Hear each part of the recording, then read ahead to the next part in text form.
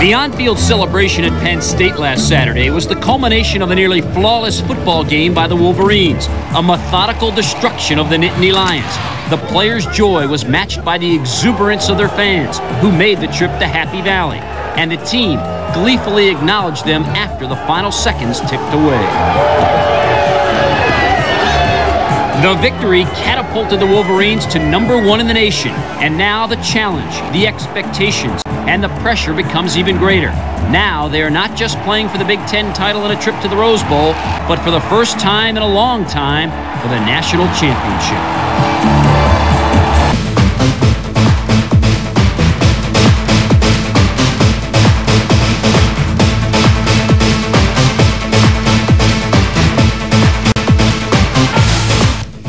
I'm Don Shane. Here we go. Michigan's number one in one poll. It's been a while since they've been number one in any poll. And in the past, when they've reached that lofty status, they have lost and blown it. Dave LewAllen takes a look back at Michigan being number one in the polls. Michigan has won more games than any other college football team, but the school's last national championships came following undefeated 1947 and 1948 seasons. All Americans Bump Elliott and Bob Chappuis were the stars of those teams.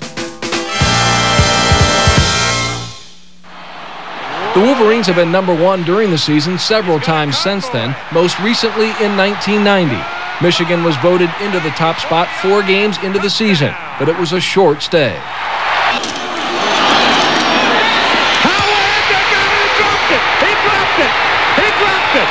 The controversial non-call in the end zone against the Spartans on a two-point conversion try resulted in a 28-27 defeat for the Wolverines. Despite that disappointment, Michigan did go on to tie for the Big Ten championship. Bo Schembechler's teams were consistently ranked among the nation's best. In 1976, the Wolverines held the number one ranking for eight weeks before being upset at Purdue. The following season, Rick Leach and the Wolverines took the number one ranking to Minneapolis. The Golden Gophers shocked Michigan by shutting them out 16 0 And here's your first play. Pressure coming. Sacked. It is Glen Steele. The smashing victory over Penn State last week convinced sports writers to vote the Wolverines number one in the Associated Press poll. It's made for an exciting week in Ann Arbor. It feels real good, you know. I mean, it's a really exciting feeling. And, uh, you know, just, you know, it's great. This is the first time since I've been here that we've been ranked number one. I mean, guys probably don't know how to respond to it. Uh, I think what we're doing is, is basically putting it out of our minds. I mean, all we have to do is play Wisconsin. That's all we can really think about. I think this team knows uh, that we're not where we want to be. There's a lot of things we still can correct, a lot of areas where we can get better, and uh, you know I think it's nice to to be able to be in that situation, but uh, you know, we're definitely not where we want to be. And uh, if we lose, it doesn't mean anything.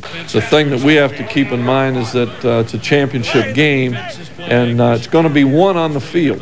You know, they don't vote you the Big Ten championship. You have to go earn it. And in this case, uh, this week, we've got to go to, to Madison and play a very good football team. The Wolverines' goals are all within reach. The Big Ten title, Rose Bowl berth, and just maybe the national title. For the Big Ten ticket, I'm Dave LewAllen. Back to the Big Ten ticket. You know, you can go crazy trying to figure out the Rose Bowl scenarios and the possibilities, but I'll try to simplify it for you, at least with reference to Michigan. If they beat Wisconsin and Ohio State, they win the Big Ten title, they go to the Rose Bowl. If Michigan beats Wisconsin and then loses to Ohio State and finishes with one conference loss, they can still go to the Rose Bowl as long as Penn State wins its remaining games. That would mean Michigan, Ohio State, and Penn State would all have one loss, and Michigan wins the tiebreaker between the three. Now, this year, though, there's an additional clause in the Rose Bowl contract which states the Rose Bowl can bypass that tiebreaker system and take the higher ranked team, which would likely be Ohio State, since they defeated the Wolverines, and therefore the Buckeyes could go to Pasadena. Michigan wins out, you don't worry about any of that stuff. Now, there is one coach in the Lions who is very interested in what the Michigan team is doing, and that's the former head coach of the Wolverines, Gary Moeller. Moeller, of course, left Michigan under difficult circumstances and now coaches the Lions linebackers. And I asked Gary about this Michigan team rising to number one in the AP rankings. Staff is done with this team because you know a lot of teams have good football players, and the key to that thing to be on the top is to put it all together. And I think the players, along with their coaches, Coach Carr and those guys, have done a great job in that way. But yeah, I, I feel a part of it, and I'm happy for them. Should they beat Wisconsin, beat Ohio State, go to the Rose Bowl, stay number one, win a national championship? A lot of ifs there. But if they do, will you feel part of this national championship team if that happens for you? Yeah, as I said, uh, a little bit. Sure, I think everybody who's been involved with a little will, but you know, you recruit some of those kids and you get to know them, and and so you always feel a part of it. And I think it's something that they can do. You go through the three ifs, but it's something they can do if they keep the focus that they've had so far. You recruited a number of players who are still on that team. Tell me about Charles Woodson.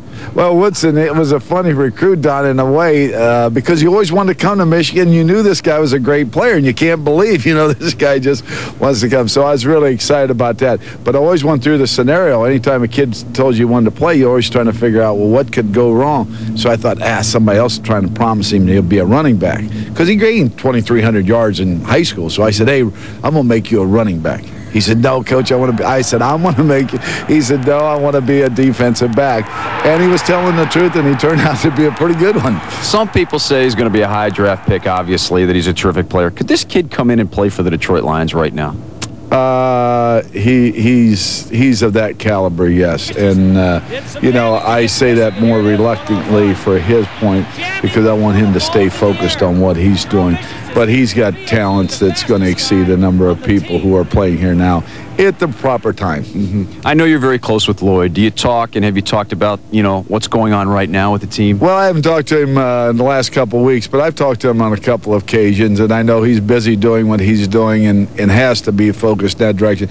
And really, the best thing I can do, Don, to be honest with you, is stay away from those things. You know, I don't want to be uh, interfering in any way, but it's fun to watch him. If you were a betting man, would you say that it's going to happen? That they're good enough and, and should maybe win out and well, win this thing? I'm not going to bet but I'd say that chances are well over 80% that this thing could happen, that they can control their own destiny. They can't worry about what other people are doing or who they're playing. They got to focus and control. And yet, as we all know, it's very, very difficult no matter what time of year, what century it is, to go undefeated in a football season. Gary Moeller, a good guy. You know, Lions players really like Gary a whole lot. He'll likely be a head coach again someday. When we come back, our weekly Tough Guy Award and a look at what is coming up next week. Stay right there. Now, just a reminder, today's important. Michigan has to win, and they should. And then next week, huge. It's Ohio State week. The Buckeyes come to Ann Arbor, ranked in the top five. Michigan has ruined their season the last few years. I'll have the pregame show with Bo live from Michigan Stadium at 11:30.